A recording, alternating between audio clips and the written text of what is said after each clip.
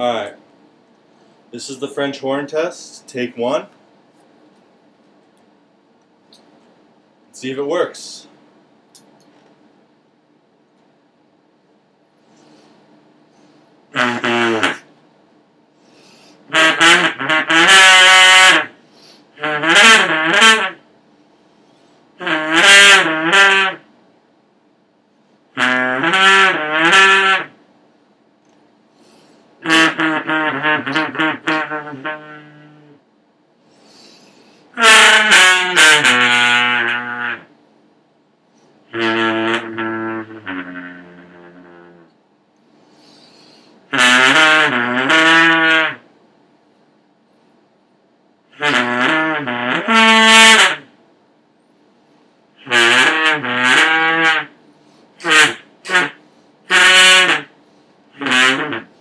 Uhum.